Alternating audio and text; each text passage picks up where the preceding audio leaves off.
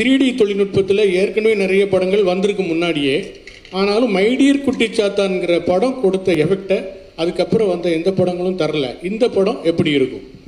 Sir இப்போ கூட சொல்கிறேன் சார். குட்டி சேத்தான் நீங்கள் என்ன சொல்கிறீங்க அது கொடுத்த எஃபெக்ட் யாரும் கொடுக்க முடியாது சார். ஏன்னா அந்த டைமில் technically back sir. How many years back was that film sir it came in the eighties right இந்த 80s